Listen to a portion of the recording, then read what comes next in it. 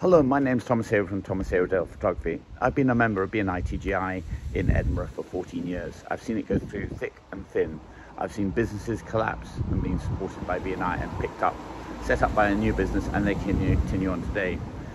BNI for me is my community. It is my business community.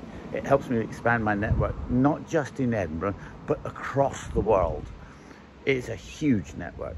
I have uh, contributed something the order of three quarters of a million pounds sterling in the time I've been a member and I continue to do so. I love helping people.